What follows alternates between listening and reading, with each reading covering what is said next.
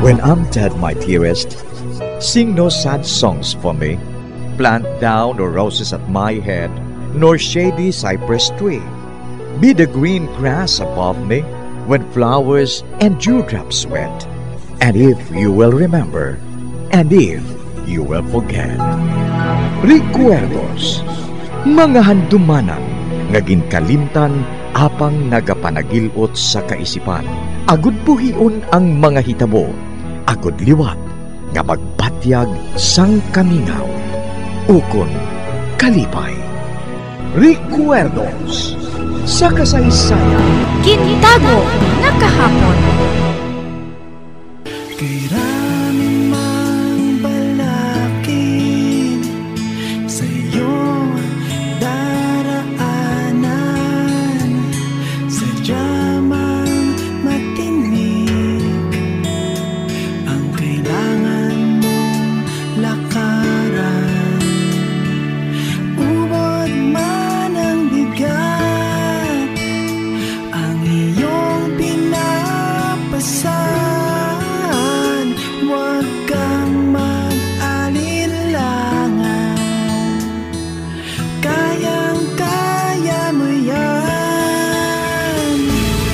Kagkaron sa kasugpon sang aton sugilanon diri sa Recuerdos sa kasaysayan. Gintago nga kahapon.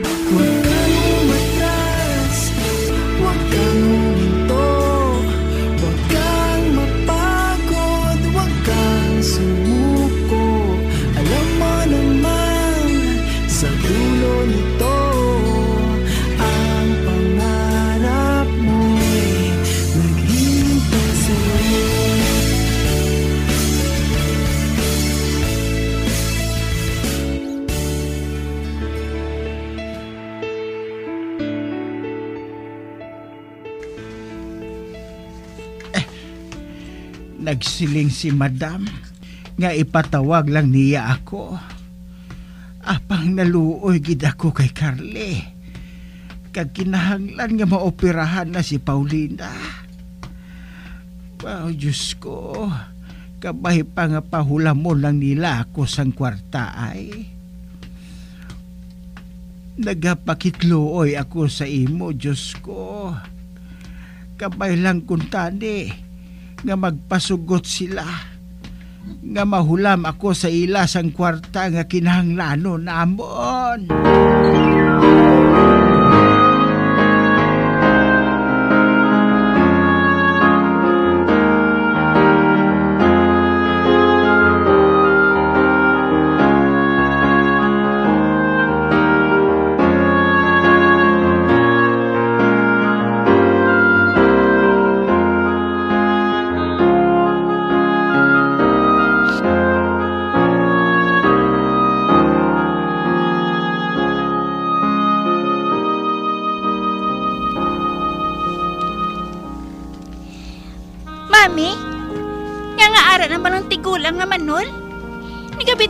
Si Kihapon sa iya nga ismagol. Hmm, ato ho, nagaulat siya sa aton sa kudal. Hambalan ko bala si Batoy, kay palaga siya sa ido. Ah, hindi. Silinga siya nga magsulod siya diri. Ano? Pasudlon? Hmm, kadamak na si Yaya. Sige lang bala. Hindi ka na magsagad sang reklamo dira. Hambala si Batoy nga pasudlon siya diri. Ikaw na lang ha. Makadto na lang ko sa kwarto, kuya. Hmm, Ato na siya. Ako na lang ganing mapasulod siya ah. Oh,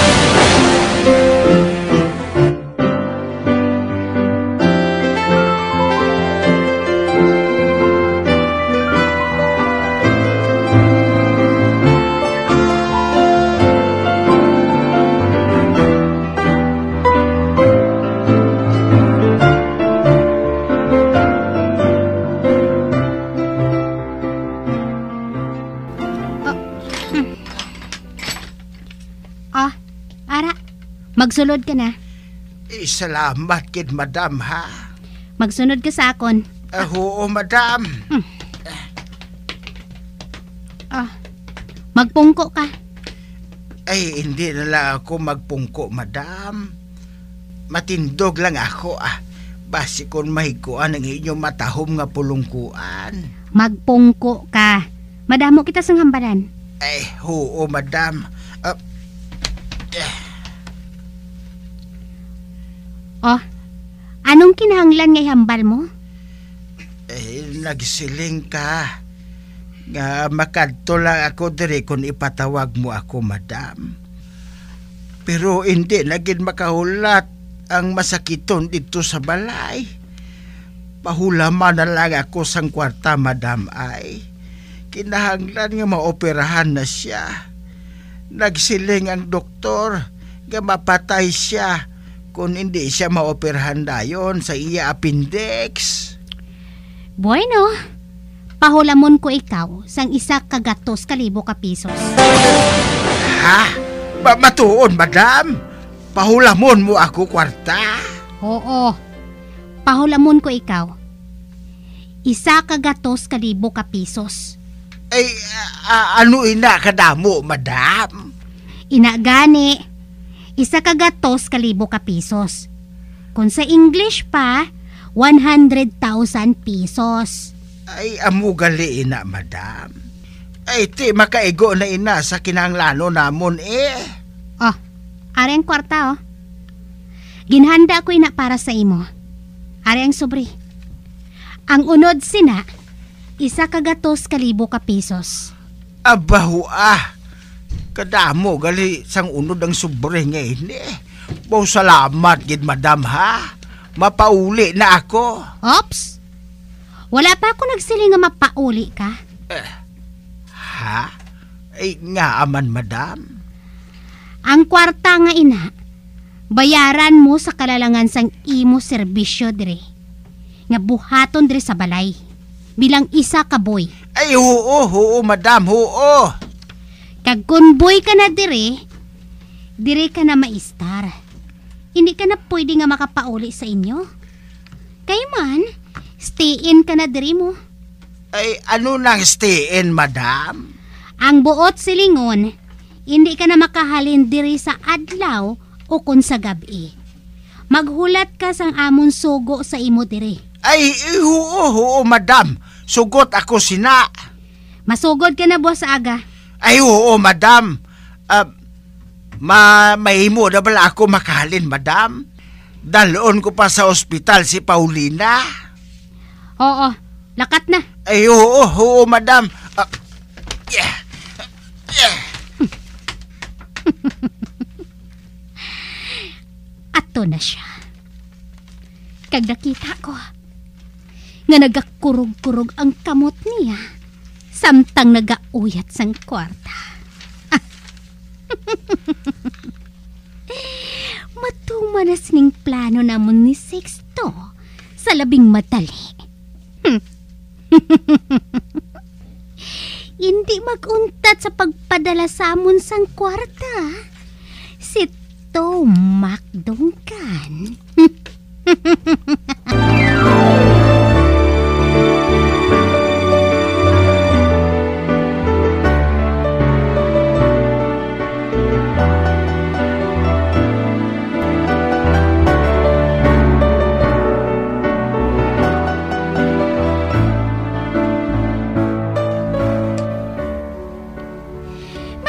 Lolo Andres?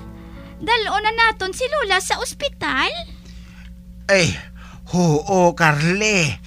Mapaoperahan na naton siya. Kag nahambal ko na si Isoy nga dalon naton sa ospital si Paulina. Sakyan naton ang iya kalisa. Ginarkilahan kong iya kalisa mo. Kani makahalin kita diri dayon. Kinahanglan na naton nga madala si Paulina sa ospital. Kani kinahanglan nga malakat na kita subong ged. Ate, oo. Oo, Lolo Andres.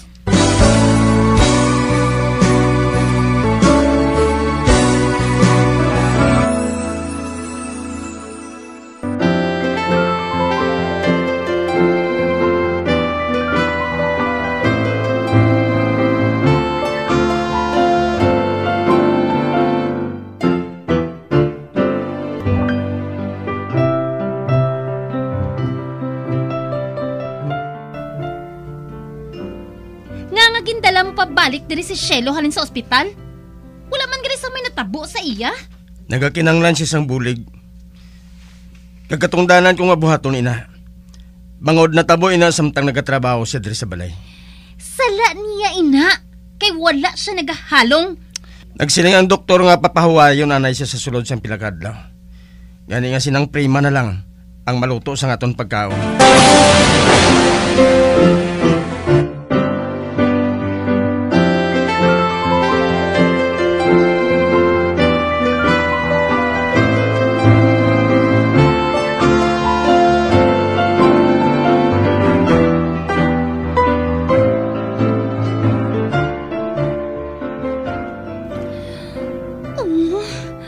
Malain ini. To sa ini matuman ang akong plano parte kay Jeremy. Sa panulo ko, may pinsay siya nga pagtamod kay Shelo. Ang babae nga ina, nga nagadala sang lapsag nga wala magani makakilala kung sinong amay. Hm, bastardo. Hindi mahimo ini. Siya lang? Huh, hindi matabo ina sa akon. Hindi!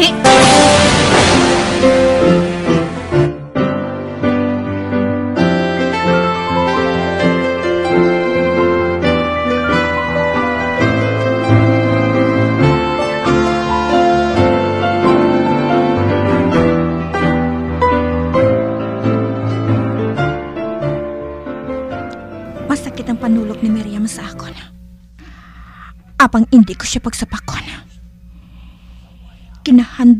Halitan sang babae nga ina.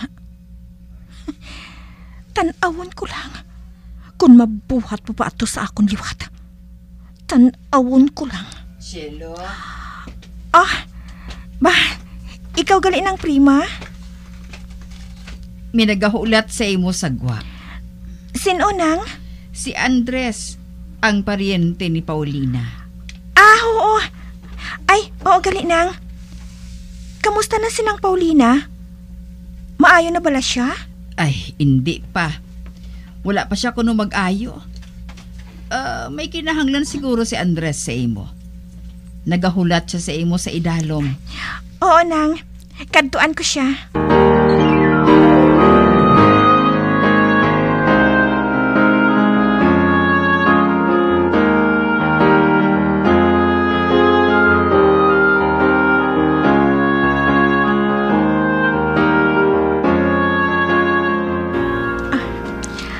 Ato sinong Andres. Nagatindog siya sa idalom sang kahoy nga star apple. Ay, mayong aga sa imo, Silo. Ay, maayong aga man nung Andres. Kamusta sinang Paulina? Ato na siya sa ospital. Ginoperahan na siya sa iya appendix. May, matuod bala ina no? Kagluwas na siya, Silo. Ay, salamat. Ay, nalipay gid ako nung. Ayaw gali. May kinahanglan ka bala sa akon? Eh, oo, Silo. Wala na ako sang may makadtuan. Magluwas sa imo. Ano ina? Handa ako sa pagbulig. Kumasarangan ko lang nung. Eh, buwas bahimo na siya nga makapauli. Si Carly ang nagabantay sa iya dito sa ospital. Apang pangabayong kukunta ni ikaw. Eh, mahimo mo bala nga mabuligan si Carly. Agod nga makagwa si Paulina dito sa ospital silo. Hindi makasarang si Carly sa paghikot sina. Agod nga makagwa si Paulina sa ospital kay man bata pa siya mo. Kag ako iya, hindi man ako makakadto sa ospital. Hindi ka makakadto sa ospital? May nga ano? Masugod na ako sa akon pagtrabaho. Ha? Masugod ka sa pagtrabaho? Ano nga trabaho? Nabaton ako bilang boy sa balay sang isa ka manggaranon nga naga-star dito sa mansyon. Ang iya ngalan amo si Madam Shirley. Ginbato niya ako bilang boy. Kag buwas, masugod na ako sa pagtrabaho dito. Gani, hindi na ako makasugat kay Paulina. Kag nadumduman ko ikaw. kung mahimo, ikaw na lang ang magsugat siya dito ay, kag magdulong sa ila balay, para nga makapahuway siya anay hasta nga mag-ayo. Aba, oo. Amo lang ina, nong. Ako nang mahibalo, ah. Nakontrata ko naman si Isoy ah, nga sugato niya sang kalisan niya si Paulina. Amo lang sakyan ninyo ni Carly sa pagpauli. Suhulan ko ikaw sang kabudlay mo silo ah. May jutay pa ako nga kwarta nga nabilin dire. Aba, hindi. Hindi nung Andres. Wala sang kaso, ina. Para amo lang, ina. Kadako sang kabalaslan ko sa imo. Hindi ko malimtal ang imo pagbulig sa akon. Sa madag sa ako sa baybayon. Oh, salamat gid sa imo silo ha. Bisan paano nalipay gid ako. Kay makapauli na si Paulina. Kag nagapasalamat gid ako sa imo silo. Hindi ka na lang magpalibog kay ng Paulina, nung. Akong mahibalo sa iya.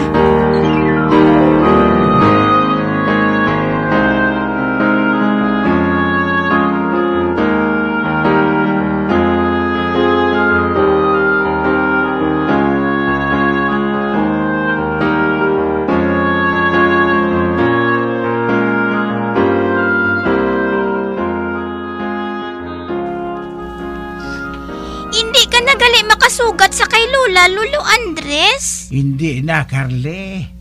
Kinahanglan nga makasugod na ako sa akong trabaho kay Madam Shirley. Kay base kon maakig sa blasakon, haw. Pero lo, anong trabaho mo, haw? Boy, ah. Matipan ako sang ila ido, kag maninlo sa idalom. Kag kung ano pa dira nga ila nga masugo sa akon eh. Apang, basi kung hindi ka na makasarang sina Lolo Andres. Makusog pa ako iya, Carle. Kag mamag-an mo lang akong trabaho, dira. Hindi ka magpalibog, ah. Kung mahatagan ako sa akong sweldo, hatagan ko man ikaw para nga may gastuhon ka mo ni Paulina. Nasubuan na gid ko kung hindi ko ikaw makita, Lolo Andres. Ay, sus, ah. Ara man lang ako nagatrabaho sa mansyon, ah. Bisan paano makakita ay manggihapon kita. Kag dason, ara man si Shilo nga mapamangkutan mo sang dapat mo nga buhaton. Ginhambal ko na to siya, ah. Kag nagpasalig man siya. Nga siya nang mahibalo maglululantaw sa inyo ni Lula mo. Amo gali, lo? Oo, Carle. Kag hindi ka na magpalibog ah. Kay kung maimpas ko ng akon utang, mabalik man ko sa balay ah. Kag dason, manginhas naman kita kag ibaligya sa merkado. Ate! Oh, Lolo, ah! Pero, lo? Saan mo pa maimpas ang imo utang? Dugay pa. Pero maimpas ka din na. Hindi ka na magpalibog sina Carly ah.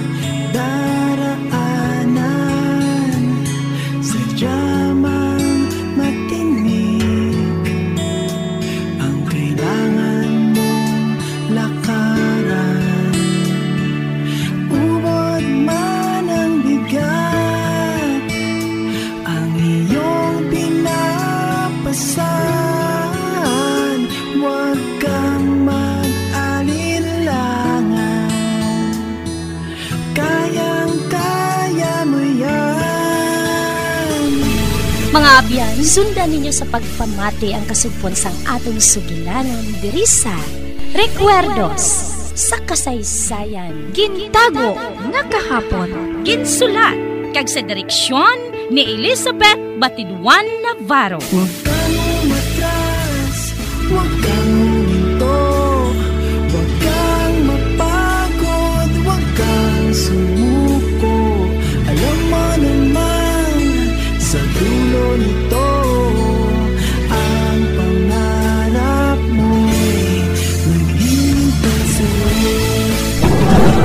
Bumbo Radio Philippines. Patuloy na number one sa drama. Fast Paradyo Bumbo!